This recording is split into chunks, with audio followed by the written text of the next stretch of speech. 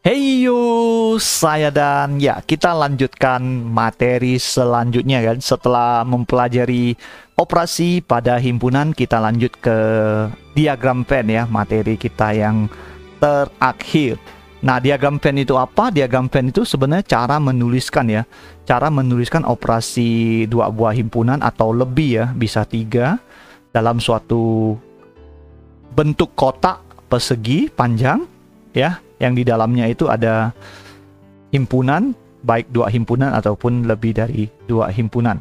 Oke, kita akan menuliskan operasi himpunan yang pertama A irisan B ya. Bagaimana sih A irisan B pada diagram Venn?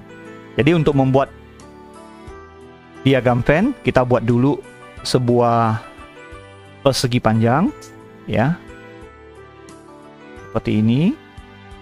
Terus di pojok kiri atas kita tulis semesta S S ya bukan 5S semesta terus irisan kan berarti ada bagian anggota yang sama jadi ini sebuah lingkaran menyatakan himpunan lalu sebuah himpunan lain yang berpotongan menyatakan himpunan ini saya tulis himpunan A ini saya tulis himpunan B jadi penulisan himpunan dikasih yang lingkaran. Nah, A irisan B itu yang mana? A irisan B adalah daerah yang saya asir ini ya. Jadi yang tengah, yang berpotongan. Inilah A irisan B. Gampang ya? Oke. Yang kedua. Yang kedua A gabungan B ya, A union B. Nah, untuk A union B ini ada dua kondisi ya. Yang pertama, kondisi pada saat ada anggota yang sama di kedua himpunan. Jadi saya buatnya mirip seperti irisan. Ya, ini ada anggota yang sama. Ini S. Jadi yang disebut A union B, A gabungan B itu yang mana? Ini yang saya hasil ini ya. Nah, semuanya ini ya. Nah, ini A union B, ini A, ini B.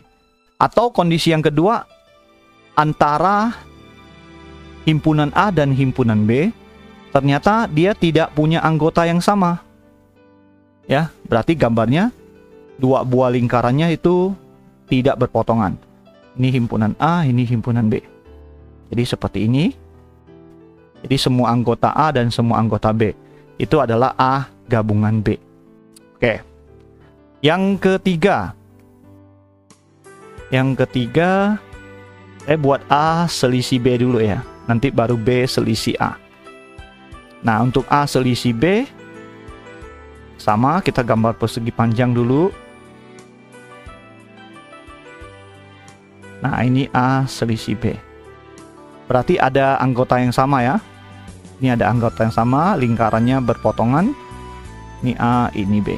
Nah, A selisih B itu berarti yang di sini. Nah. nah, A yang bukan B. Jadi dia tidak terkena B. Ya. Kalau yang nomor 4 saya buat di sini B kurang A berarti ya dibalik saja ya. Dibalik saja.